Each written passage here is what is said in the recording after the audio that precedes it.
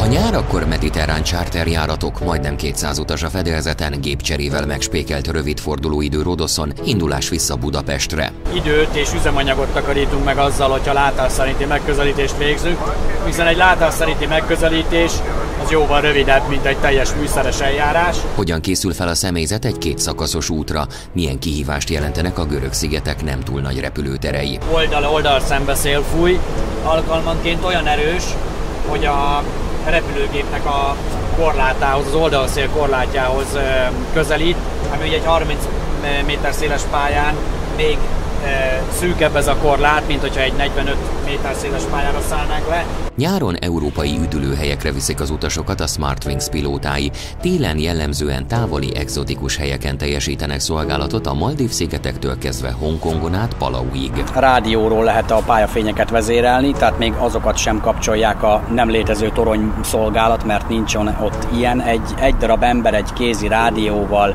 Palau Info, és ő adja a, hát nem is engedély, tulajdonképpen csak tájékoztat.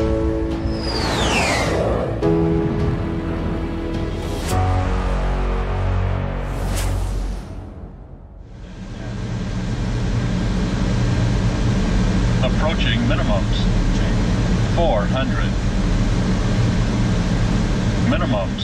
Átlagos nyári nap a Smartwings légitársaságnál. Teltházas charterjárat, landolás az egyik legnépszerűbb görög nyaralóhelyen Rodoszon, a baloldali ülésben Szakács Gábor kapitány, az első tiszt pedig Tenki Gábor.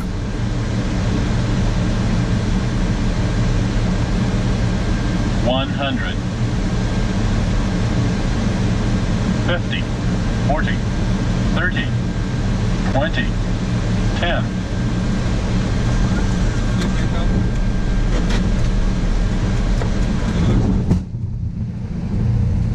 Mindjárt visszatérünk a híres görög szigetre, de kezdjük az elején. Korán kelt a 737-800-as személyzete. A pilóták és az utaskísérők hajnali fél ötkor találkoztak a Ferihegyi 2-es terminálon. Briefing a légitársaság irodájában felkészülés a két szakaszos munkanapra. Pillanatok alatt eldől, hogy az odaútra 8,4 tonna kerozin tankolnak a gépbe, a repülési tervben szereplőnél valamivel többet. Ugyanis a járat érkezésekor nagyobb forgalom várható Rodoszon, így előfordulhat, hogy az irányítás késlelteti a leszállást. Nálunk ez úgy működik, hogy annyi plusz tankolsz, amennyit szeretnél, senki nem kérdezi meg igazából, hogy miért döntöttél így.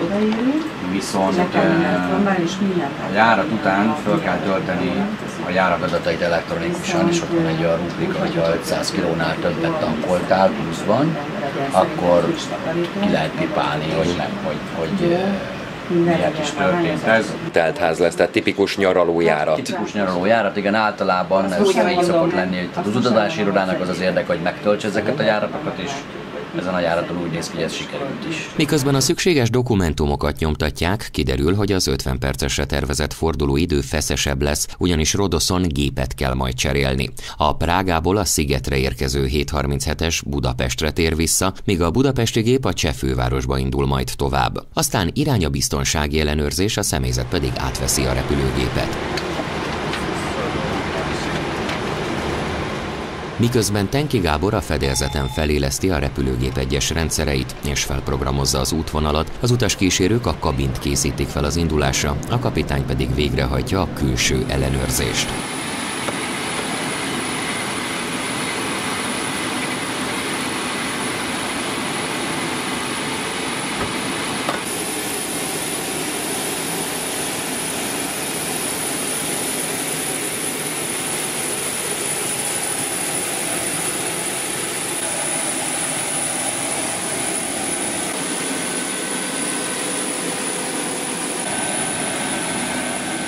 Pár perccel később már érkezik a 189 utas, és az is kiderül, hogy melyik pályáról fog felszállni az 5000-es járat. Súlyon 3000 lábbal. 6 left for departure.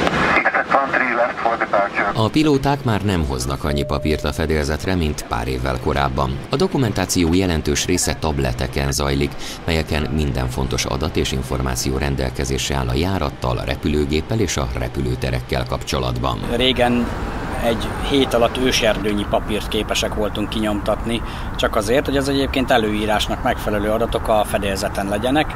Aztán, hogy halad előre a technika, egyre inkább ez az elterjedt. Tehát a navigációnk térképeink most már abszolút csak tableten állnak rendelkezésre, fedélzeten papír alapú térkép nincs, a notamok, időjárás, ezek mind elektronikusan vannak meg. Nagyon sok repülőgéppel kapcsolatos anyag szintén csak elektronikusan van meg ezeken a tableteken. El van mentve egy tárhelyre, tehát ha nincs internet, akkor is elő tudom hívni. Szerintem ez a jó irány, mindig kijelzi az applikáció, hogy ott egy frissítés vár, és hogyha ezt én befrissítem, akkor a legfrissebb adatok állnak rendelkezésre. Hát ha valaki elfelejti, emberek vagyunk, akkor, akkor nem a legfrissebb, viszont ezért mindig össze kell hasonlítani az iPad-eket indulás előtt, hogy kinek melyik adatbázis van fent, ez egyezik ez az adatbázis, megfelele a mai dátumnak, ha nem, akkor még repülés előtt van rá lehetőség.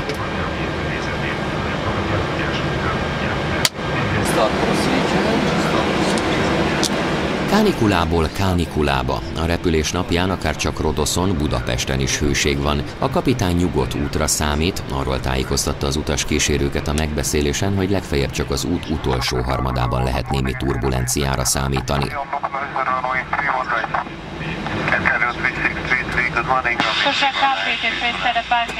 Parking brake is set. Miközben a pilóta fülkében sorra veszik az ellenőrző listákat, hátul a kabinban már zajlik a biztonsági bemutató. Időben el kell kezdeni a tájékoztatót, mivel a gép a hátratolás után keveset gurul a 13 bal pálya várópontjáig. A tervezett repülési idő valamivel több mint két óra, az út Szerbia és Bulgária felett vezet Görögországig.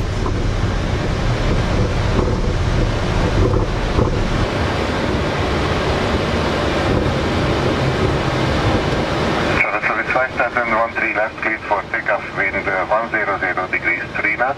In the air 1229 and suburb flash, you're updated.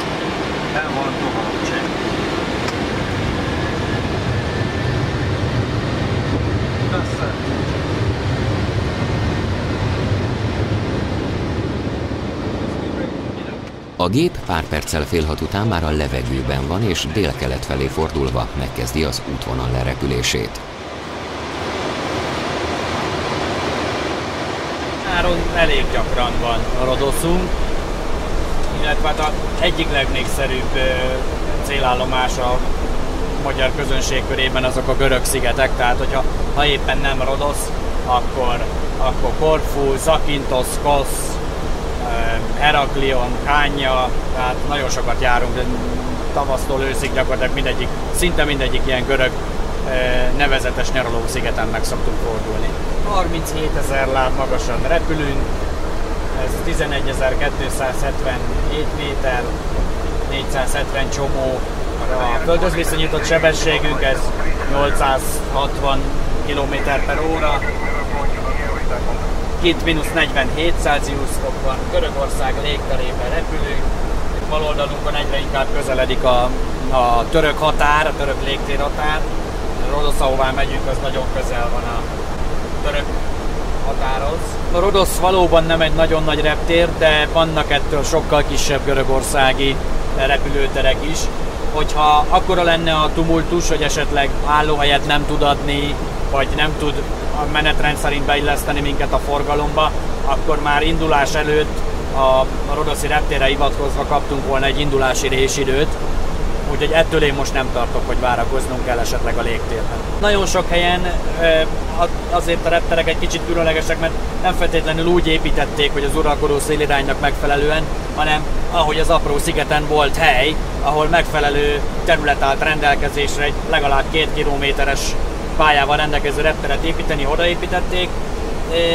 A Rodoszon is élénk, általában élénk észak-észak-nyugati szél fúj, most is nagyjából erre számítunk. Rodosz felé Szakács Gábor a repülőpilóta, azaz a Pilot Flying, az első tiszt pedig rádiózik. Európa több pontjának adnak olyan bonyolultabb repülőterek, ahol kizárólag a kapitány szállhat le és fel a géppel. Ezek közé tartozik például a portugál Madeira, de a görög szigeteken is vannak olyan légikikötők, amelyek szigorú besorolás alá esnek az időjárási körülmények, a megközelítési eljárás, a terepviszonyok vagy a keskeny 30 méter széles futópálya miatt. Mi Kárpatoszra járunk ilyen keskeny pályás repülőtérre, ez egy Ez egy részben katonai repülőtér, az Európai Uniónak az egyik legdélebbi pontja egyébként. Ráadásul a repülőtéren irányítószolgálat nincs is, csak egy repüléstájékoztató szolgálat. A radarjuk a repülőtérnek nincs. Viszonylag kevés a polgári forgalom, mindössze három repülőgép állóhely van kialakítva, ami még a helyzetet bonyolultabbá teszi a menetrend szerint, már este szállunk le ezen a repülőtéren, tehát nem elég, hogy keskeny a pálya, még, még sötét is van, bár ugyan vannak pályafények, de mégsem olyan, mint hogyha egy szabvány 45 méter széles pályára szállnánk. Illetve a pálya bizonyos szakasza a toronyból nem is látszódik, mert egy ilyen púpon van az egész repülőtér, a pályának is ilyen a, a kialakítása, illetve ami még bonyolultá tudja tenni ezt a helyzetet, hogy általában oldal-oldal szembe szél fúj, alkalmanként olyan erős, hogy a repülőgépnek a korlátához, az oldalszél korlátjához közelít, ami ugye egy 30 méter széles pályán még szűkebb ez a korlát, mint hogyha egy 45 méter széles pályára szállnánk le. Nem egy egyszerű repülőtér megfelelő felkészültséggel ez teljesíthető egyébként. Miközben az utasok a kabinban a reggeliüket fogyasztják, a két pilóta nagyjából félúton megkezdi a rodoszi megközelítés és a leszállás előkészítését. A céges eljárás is azt mondja, hogy a süllyedés megkezdése előtt ezt mindenképpen meg kell tennünk, viszont vannak olyan repülőterek, ahol ez nem lehetséges, mert egyszerűen nem jutunk hozzá az aktuális időjárási információkhoz. Ugye van égharszunk, de azon keresztül nem tudjuk ezt megkapni. Most a, a Rodoszi időjárást, a legfrissebbet, a legutolsót, ami rendelkezésre áll, azt égharszon megkaptuk. Ennek megfelelően megcsináltuk a, a leszállási ö, számításokat. A pálya az gyakorlatilag adott az eseteknek a 99%-ában Rodoszon a 24-es, régen ez 25-ös pálya volt, ezt a 24-es pályát használják, nagy, hogy mondjam, csoda itt nem várható, és mivel minden adott, ezért, ezért igenis jóval a leszállás előtt már megkezdjük a felkészülést. Általában két szakaszt repülünk egy nap, tehát még akkor is, hogyha csak egy rövid korfut vagy egy e, tiranát, nem nagyon jellemző azt mondom a mi cégünknél, hogy dupla járatokat kapnánk. Nem mondom, hogy nincs ilyen, alkalmanként előfordul, de, de az esetek nagyon nagy százalékában szimpla járatokat repül egy személyzet. Télen érdekes, hogy nagyon sokszor van olyan, hogy egy-egy repülőgépünk a 24 órából 20 a levegőben van, mert eh, repül egy dupla utat, nagyon hosszú szakaszokkal, ez gyakorlatilag azt jelenti, hogy 50 perces fordulóidőkkel e, szinte kijön a 24 óra a repülőnek. Mi is meg tudjuk csinálni a 25-30 perces fordulóidőt, hiszen ilyen 731-800-as gépekkel csinálja ezt jó pár e, légitársaság, de ők nem a hagyományos légitársaság modellt követik, ők fapados légitársaságok. A cateringük e, nem olyan, mint ami a, a miénk ebben a tekintetben, azt gondolom, hogy a, a Smartwings ez egy kicsit konzervatív, itt még azért a az utas a nyaralásának az áráért kap némi nemű fedélzeti ellátmány. Takarítás is van a gépeken pontosan amiatt, mert a catering elfogyasztása után jelentős mennyiségű szemét keletkezik, tehát nem tudunk úgy visszaindulni, hogy a repülőgép ne lenne megfelelően kitakarítva. Ez időt vesz igénybe. E, valóban több az az idő, amit a, a földön töltünk, de azt gondolom, hogy mivel a mi légitársaságunk egyébként éjszaka is repül, gyakorlatilag minden nap, ezért azt az időt, amit elveszítünk azon, hogy mondjuk fél helyett mi 50 perc alatt igyekszünk megfordulni, ezt, eh, amit itt vesztünk azon, hogy ennyivel kevesebbet tud a repülőgép a levegőbe lenni, azt az éjszaka visszakapjuk az éjszakai járatokkal. A Smartwings házatáján jelentős változások történtek az elmúlt évben, amit jól jelez a Rodoszi járatot teljesítő két repülőgép festése és lajstroma is. Erről Szakács Gábor már az Aeroparkban mesélt. Tavalyi évben a Travel Service légitársaság megvásárolta a Cseh Nemzeti Légitársaságot, a CSA-t. Most már mint egy cég szereplünk, egy befektetői csoport a tulajdonos, és úgy gondolták, hogy ez alkalom arra, hogy ez egyébként a cseh piacon pár évvel ezelőtt már bevezetett Smartwings brandet, azt egy kicsit szélesebb körre is kiterjesszék, és a Travel Service, ami azért valljuk be nem volt egy legjobb légitársasági elnevezés, ezt megszüntetik, és a régi Travel Service cégcsoportokat mindegyiket átnevezik Smartwings-re, illetve a repülőgépeket is átfestik ennek megfelelően.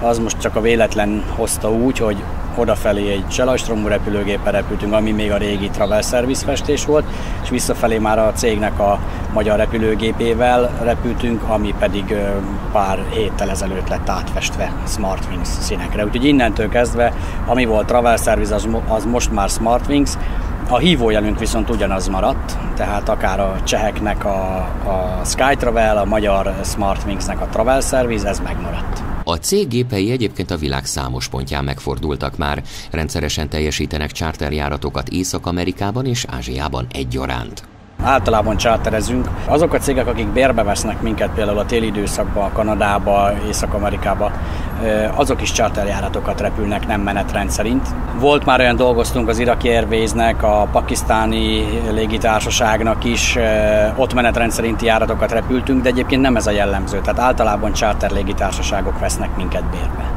Mi oda repülünk, ahová a gépet megrendelik. Malév csőd után egyébként volt szerencsénk jó pár kormányáratot is teljesíteni. Tényleg egyszerű felsorolni azokat az országokat, ahol még nem voltam, mint ahol voltam. Ausztráliában nem voltam, de egyébként volt a cégnek oda három-négy darab járata, úgy sikerült, hogy nem én voltam rajta.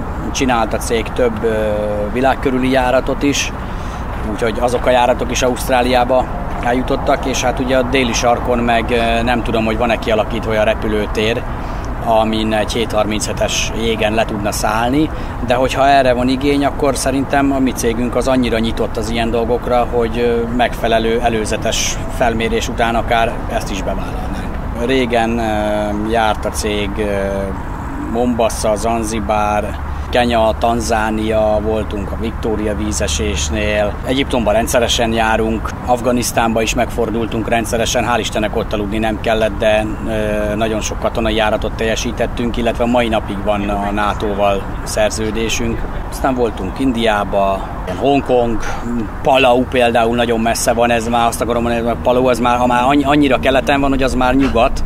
Éppen Közel van a dátum Igen, éppen mondtam is, hogy ott már San Franciscóval kell leszállás előtt rádiózni, hogy Palaun leszállhassunk kvázi, illetve hogy onnan el tudjunk majd indulni. Mert hogy ott eléggé mérsékelt a légiforgalmi irányítás, vagy egyáltalán nem is ott létezik? egyáltalán nem létezik irányítás, radarjuk nincsen, viszont Palau az amerikai protektorátus, és onnan San Francisco az még hát, hogy megsatszolom legalább egy 6000 kilométer, viszont megvolt, hogy milyen magasság fölött HF rádión mindenképpen föl kellett vennünk a kapcsolatot San Franciscoval, mondani neki egy érkezési időt, leszállás után ez telefonon, amennyiben működött a földi telefonvonal, mert mobilhálózat nincs Palaun, meg kellett erősíteni, hogy mi megérkeztünk, illetve ugyanúgy a rádión adták nekünk az indulási időpontot, hogy ekkor fel kell szálljunk. Ő ezt már tudta San Francisco, hogy ha ekkor felszállok, akkor 10-15 perc múlva be kell nála jelentkezzek a frekvencián, és amennyiben ez nem történik meg, akkor ő elkezd engem keresni, hogy hol vagyok, hiszen nagy valószínűséggel Palauró felszállt. Ráadásul ott még a fények is éjszaka mentünk erre a repülőtérre,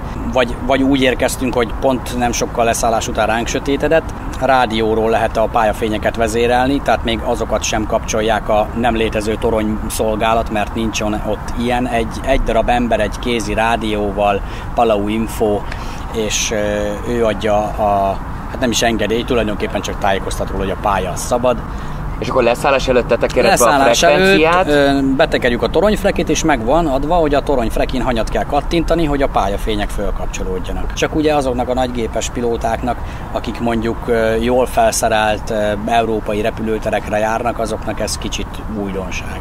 Az ilyen úgynevezett településeknél általában havonta cserélik a személyzetet, de vannak pilóták, akik gyakran több hónapot is vállalnak valamelyik egzotikus országban. Komoly előkészítést igényel ilyenkor a gépek átbázisolása is, hiszen a 737-eseknek több technikai leszállást kell végrehajtaniuk. A Maldív irányába volt egy dobbantás, hogy üresen ment a repülő, lényegesen megnő ugye a hatótávolság. És ezt, ezt egy Maldív szigeteki cégnek csináltuk, onnan úgy repültünk, hogy Hongkong, de a Maldív és a Hongkong között is szállítottunk utasokat odafelé és visszafelé, és akkor Hongkongba volt pár nap pihenő, közben egy másik személyzet repülte a Hongkong Palaut, majd vissza, akkor ők mentek el pihenni, aztán mi repültünk egy Hongkong Palaut vissza, addig ki, és akkor mentek vissza a Maldívra. Tehát a Maldívról azt mondom, hogy Palau az gyakorlatilag egy dobbantás Hongkong felé, nem esik pont irányba, de hogy mondjam, nem, nem olyan vészes távolság, hogy, hogy, hogy, hogy ne lehetne megrepülni.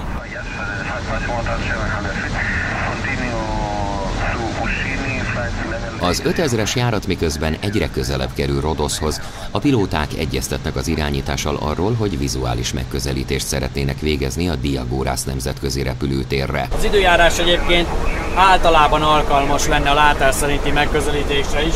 Nekünk az azért jó, mert eh, időt és üzemanyagot takarítunk meg azzal, hogyha látás szerinti megközelítést végzünk, hiszen egy látás szerinti megközelítés az jóval rövidebb, mint egy teljes műszeres eljárás amennyiben a forgalmi helyzet lehetővé teszi, akkor ezt természetesen itt Rodoszon is az irányítással koordinálva meg fogjuk kérni, hogy van-e erre lehetőség, hogy egy látás szerinti megközelítést hajtsunk végre. Ha azt mondják, hogy igen, akkor ennek megfelelően repülünk, ha nem, akkor lerepüljük a műszeres eljárást. Közben az is kiderül, hogy a járat a tervezetnél korábban fog érkezni Rodoszra. Az irányítás több rövidítést adott, ez pedig csak jó, hiszen a gépcsere tartogathat meglepetéseket, a forduló idő pedig amúgy is feszes. Hamarabb érkezünk 20 perccel, mint a menetrend. Ennek sok minden sok minden összetevője van, amiből ez összejött. Egyrészt, hogy a 13-as balpályáról tudtunk felszállni, az irányba van, nem volt még reggel Budapesten olyan nagy a forgalom, felszállás után rögtön megkaptuk a engedélyt, hogy egyenesen repülhetünk a magyar határig, nem kellett a indulási eljárás lerepülni, és folyamatosan kaptunk rövidítéseket. Tehát van egy némi nemű hátszelünk, viszont ez jól jön ez a pár perc, amivel hamarabb megérkezünk, mert a gépcserénél azért lehetnek komplikációk, tovább tartat, mint tervezzük. Lehet, hogy nem sikerül a a görög kiszolgáló cégnek egymás mellé, melletti állóhelyet kiosztani a gépeknek. Kéteringet is át kell pakolni, mert más a, a csehországi kétering, más a magyar, tehát teljes kétering cserét kell végrehajtani. Úgyhogy soha nem baj az, hogy egy ilyen gépcserénél nem 50 perc áll rendelkezésünkre, nem mondjuk 1 óra, 1 óra 10 perc. Az irányítás aztán megadja az engedélyt a vizuális megközelítésre. A járat a tervezethez képest több mint negyed órával korábban ér földet a Diagórász repülőtér betonján. Minimums.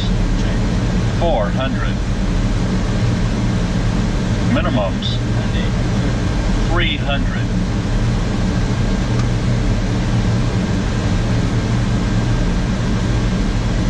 Two hundred.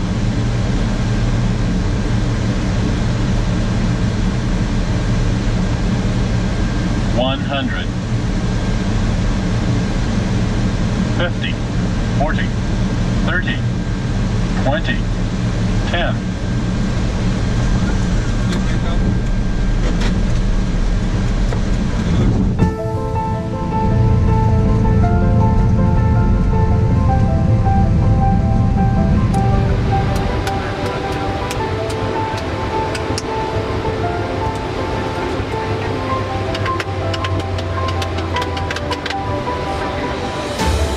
következő részben megmutatjuk, hogyan sikerült a rodoszi gépcsere és hogyan próbálta a kapitány felpörgetni a gyorsnak nem nagyon mondható görögföldi kiszolgálókat.